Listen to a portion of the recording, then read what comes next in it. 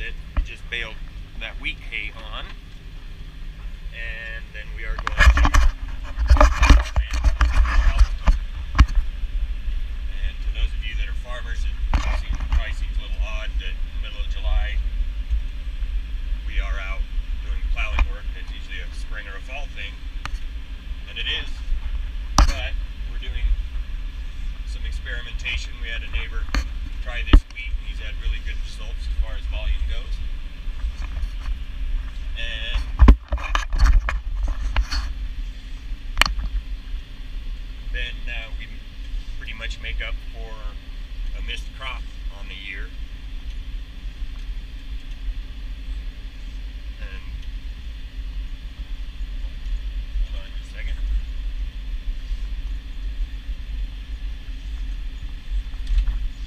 typically in the springtime when we'd be replanting alfalfa, we'd be doing all this work in April, May, maybe into early June. You don't want to plant alfalfa too early. Uh, the seed is very expensive and you don't want to lose all those little plants to a frost. We get frost very la- late around here.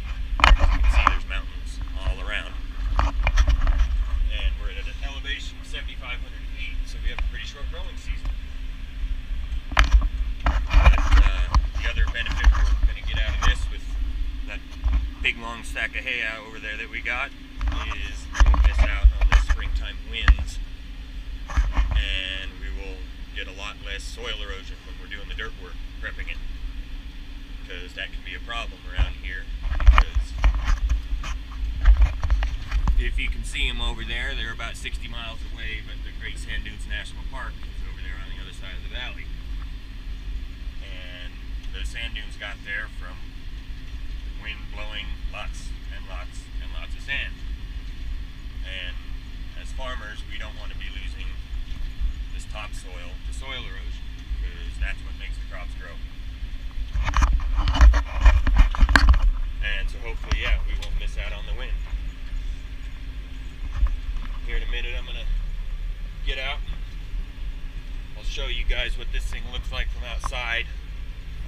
These shanks are about three feet long, we're ripping about 20 inches into the ground. It's about the depth of the topsoil around here. Sometimes it'll get up to two feet. Out here in the west, uh, we have thin topsoil.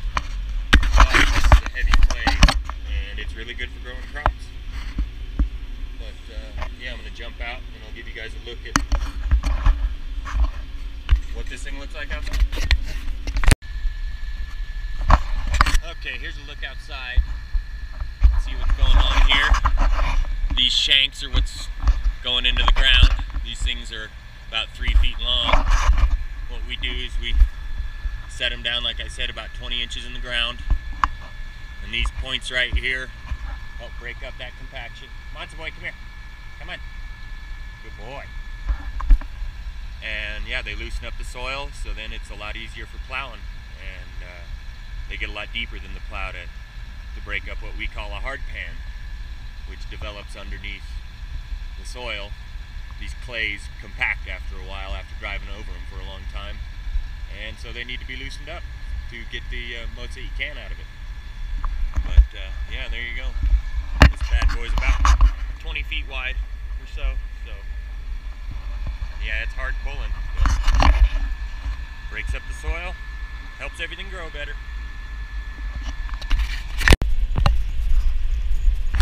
So there isn't really anywhere to mount the camera outside that I feel comfortable with. So uh, I'm gonna open up the back window here and hold out my selfie stick and uh, give you guys a closer look.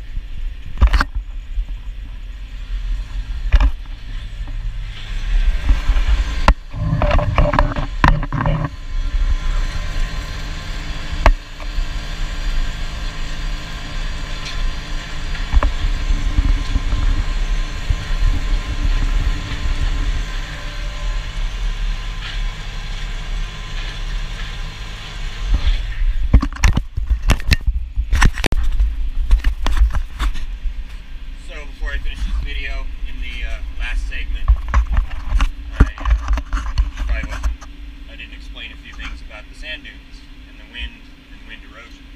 The springtime around here we get for about eight weeks out of the year absolutely horrendous winds.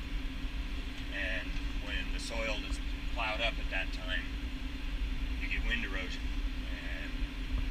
And that's what makes the sand dunes. Once again, the sand dunes are over there. They're really hard to see, but they are about 60 miles away from here. So they're that little the light brown strip at the base of the mountains.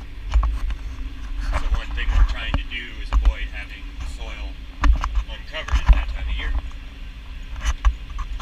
And by planting this wheat, we're getting an extra crop that we didn't get used to get either, because this is the winter wheat, and we plant it in the fall, grows a little bit, hangs out all winter, and then starts growing again in the springtime. And we get huge volumes out of it. We're not quite sure how much we got yet. We got to wait for the first semi to leave to know But uh, yeah, and all those horrendous winds that we get come off of the mountains that are right in front of me.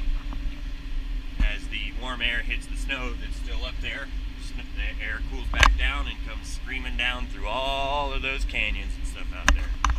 And gets out here, picks up all the loose dirt, sends it over to the sand dunes over there. So yeah, as farmers, one thing we have to do to long-term use of the land is limit or eliminate soil erosion. Now around here it's kind of hard to go with no-till practices because of how hard the soil is because of what I'm doing right now. And we need to to relieve the compaction in the soil, but we also need to figure out how not to lose our soil to the wind. Because we all remember the stories about the Dust Bowl and how much dirt got removed out of the southern plains when they went into a drought in the 20s. If you don't know, research it and uh, you will learn quite a bit. But anyway, if anybody's ever got any questions, I'm more than happy to answer them. I got friends who always wonder, wondering what's going on on the farm. So uh, please uh, comment, rate, and subscribe.